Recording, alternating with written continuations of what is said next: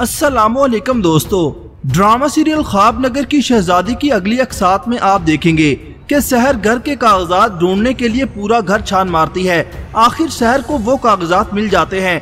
वो अपने वालिद को कॉल करके बताती है कि घर के कागजात मिल गए हैं। वो अपने वालिद को ताकीद करती है कि आप कागजात लेने मत आइएगा। मैं खुद आऊँगी आपको कागजात देने। जिसके बाद आप देखेंगे कि शहर मौका देखकर घर से कागजात लेकर चली जाती है। और कागजात अपने वालिद के हवाले कर देती है।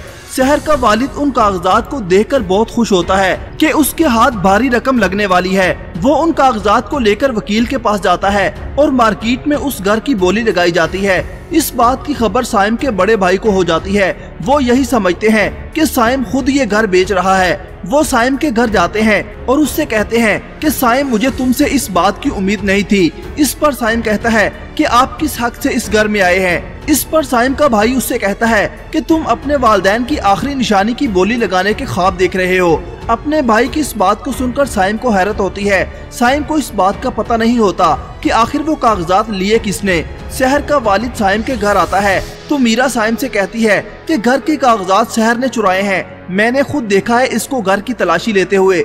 जिस पर शहर मीरा को मारने दौड़ती है। मीरा खुद को बचाने के लिए शहर को पीछे धकेलती है तो शहर जानबूझकर दूर जा गिरती है और सोफे से जा टकराती है।